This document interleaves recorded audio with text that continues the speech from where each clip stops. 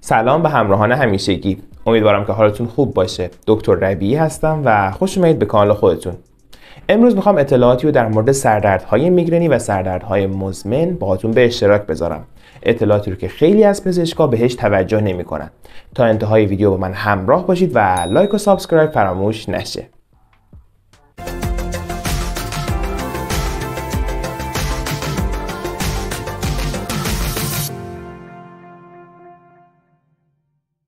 چند روز پیش بیماری به من مراجعه کردن با نسخه ای که داخلش نوشته شده بود ارگوتامین C هر 12 ساعت ازشون پرسیدم که به چه صورت از این دارو استفاده می‌کنید و گفتن که من هر 12 ساعت به صورت روتین و به صورت منظم از این دارو استفاده می‌کنم.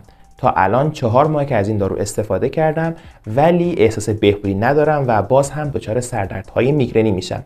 چرا این حالت برای من اتفاق میافته؟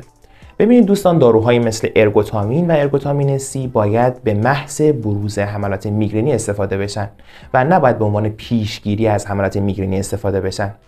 به این صورت هستش که شما وقتی که احساس سردردهای میگرنی دارید باید همون موقع یک دونه از قرص ارگوتامین C رو استفاده بکنید. و اگر باز هم حال شما بهتر نشد می‌تونید هر نیم ساعت اون رو تمدید بکنید. در طول روز می‌تونید به اندازه 6 عدد قرص ارگوتامین رو استفاده بکنید. باید به این نکته توجه داشته باشید که نباید بیشتر از 10 قرص در طول هفته از این دارو استفاده بشه. داروهای مثل ارگوتامین، ارگوتامین C، سوماتریپتان و ریزاتریپتان نباید به عنوان پیشگیری از سردردهای میگرنی استفاده بشن و باید به محض بروز سردردهای میگرنی از این داروها استفاده بشه. حالا موضوع چیه که اگر فردی بیرویه و زیاد از داروهای مسکن و ضد درد استفاده بکنه دیگه تاثیر رو نمی‌ذاره. در این شرایط فرد دچار MOH یا Medication Overuse Headache شده. یعنی سردردی که برای فرد اتفاق افتاده به خاطر مصرف بیرویه از مسکن هاست. مسکن های مثل ایبروفن، ناپروکسن، داروهای ضد سردردی مثل سوماتریپتان و ریزاتریپتان و همچنین ارگوتامین می‌تونن باعث بروز MOH بشن. بنابراین اگر بیشتر از 15 روز از داروهای ضد سردرد و داروهای ضد میگرن و مسکن استفاده می‌کنید احتمال بروز MOH افزایش پیدا می‌کنه و اون هم به خاطر مصرف بیرویه مسکن هاست. براتون سوال پیش میاد که دکتر شما فکر کن که ما دچار MOH شدیم. چیکار می‌تونیم بکنیم؟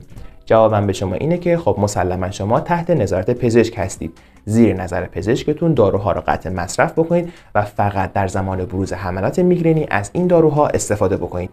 یادتون باشه مصرف بیروی داروهای مسکن و ضد سردرد علاوه بر سردردی که می‌تونه براتون ایجاد بکنه می‌تونه مشکلات قلبی عروقی رو ایجاد بکنه که از سردرد بدتره.